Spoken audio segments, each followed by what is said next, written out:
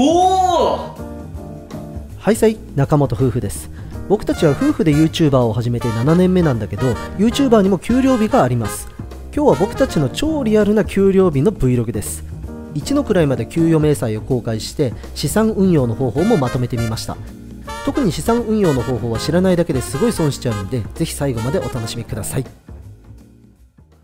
ということで今日は給料日ですこのチャンネル初めて見る人もいると思うんでちょっと紹介しておきます。ウームっていう事務所に所属している、まあ、中堅 YouTuber で月の再生数はだいたい600万から3000万再生ぐらい。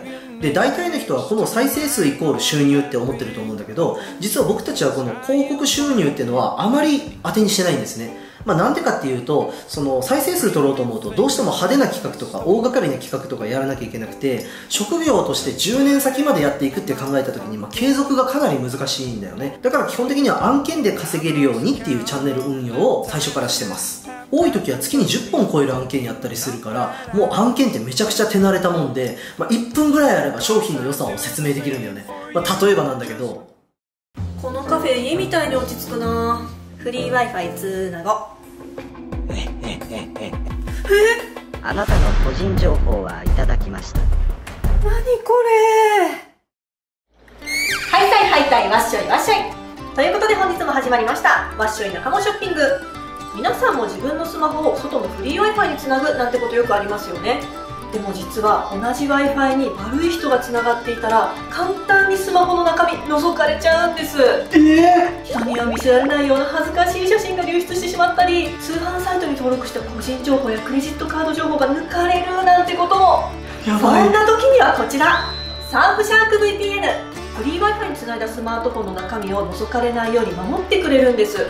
さらにフィッシング広告や悪意のあるサイトからも守ってくれるんです。安心ですね。安心他にも面白い使い方がございましてこの VPN を使えば Netflix などのサブスクで海外限定の配信のコンテンツを日本でも見ることができるんです。えー、皆さんの情報を守るサーフシャーク VPN ぜひ概要欄からチェックしてください。っていう感じでねなるべく短い時間でみんなが楽しく商品の良さを理解できるようにっていうそこの技術をもう徹底して突き詰めてきてまあ YouTube 始めても7年目っていう感じですねで、えーと、早速、まあ、みんなももう給料いくらもらってんの？っていうのが気になると思うから見せていきたいと思います。これ僕の個人通帳ねガチなやつ見せますからね。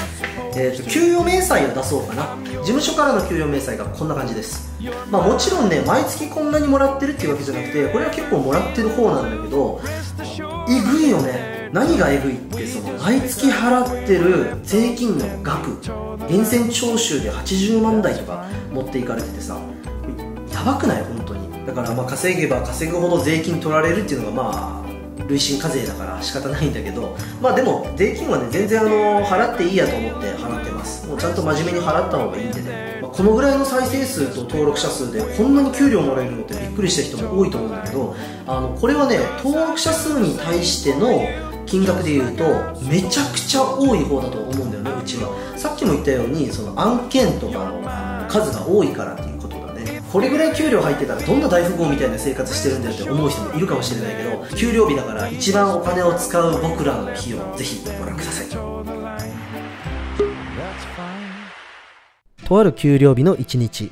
だいたいこの1日でどれぐらい出費するのか想像しながら見てみてください。後で答え合わせしましょう。まず朝ごはんですけど2人前で140円。もう長いことこの朝食スムージーで済ませてます。日課の筋トレ。事務代がもったいないからネットで機材揃えてもう家の中で無料でやってます。昼食のメインディッシュは業務用スーパーで爆安のハンバーグ。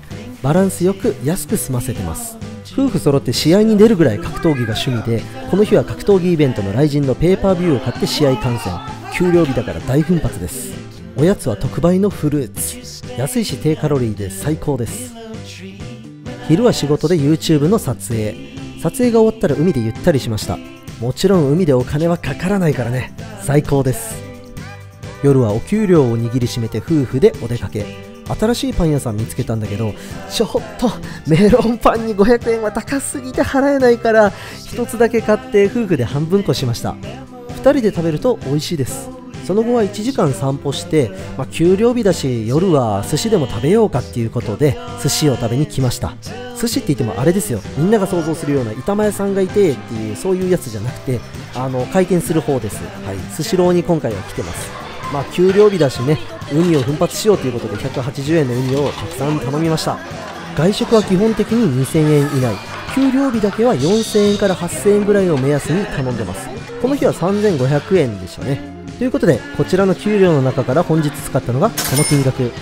どうなんだろうね。これ一般的にかなり奮発してる方なのかな。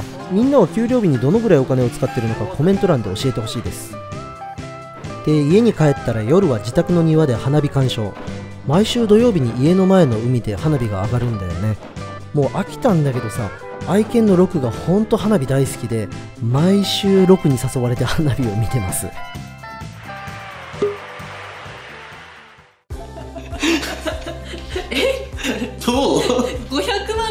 月収ある人なんだよねそう。これさ私があの給料16万の時と変わってないというか。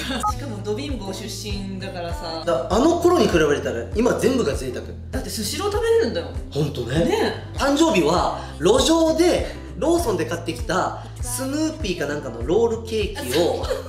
あの5切れに入ってる。5切れ入ってるやそれでもめっちゃ贅沢やと思ったもん。つそうそうそう。路上でね。路上でゲストハウスで1日800円とかの宿泊費でそんな感じの生活だったからそれに比べたらもう本当月収30万ぐらいあればもうもう全部贅沢だ。やばいってぐらいの感覚でさ。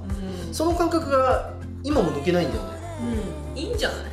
めっちゃ節約できるんじまあゃない？そうだ俺も俺もそう思った。これ見ててやべえなこいつらと思って。給料日だよこれ。めちゃくちゃ俺あの日奮発してるイメージあったんだって。いや私も私も。でしょ？だってもうパン屋さん行ってパンまで買ってさ寿司まで食いに行っててその前に雷神まで見て花火見て海見てかかったお金1万円もいかねえっていう。可愛いな。うん。毎月の生活費的にもどんぐらいだっけね？大体35万から40万ぐらい？そうだね。使って40万？そのぐらいには収めていこうっていう話で、まあ、いくら稼いでもね。でその残ったお金どこに行ってんのっていうふうにみんな思うと思う んだけど。まああのちょっとかっこつけた言い方するとあの寄付とかもしてるしね。あのこの間のトルコ地震のやつとかもね。あそうだね。投資に回してて。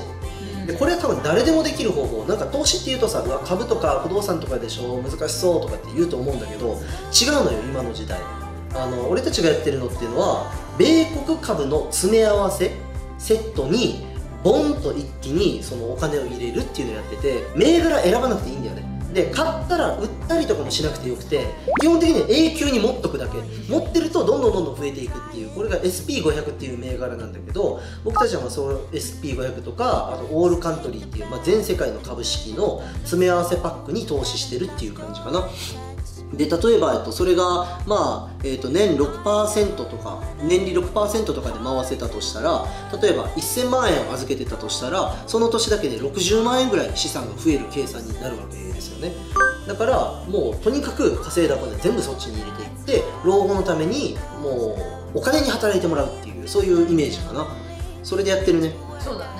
うん、これってすごくおすすめな資産形成の仕方であの、まあ、俺が説明するよりも多分ね詳しい人が説明してる動画の方が分かりやすいと思うから概要欄にね、えー貼っときます。あと今日の冒頭で紹介した商品もぜひ見てみてください。ということで、えー月収ね500万近く稼ぐ YouTuber の質素な生活でございました。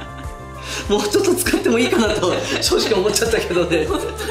皆さんの給料日大体いくらぐらい使ってるのかとか給料が出たらどういうことにお金を使うのかとかぜひ知りたいのでコメント欄に書いてください。はい。そんな感じです、はい。ということで今日の動画は以上です。バイババイバーイ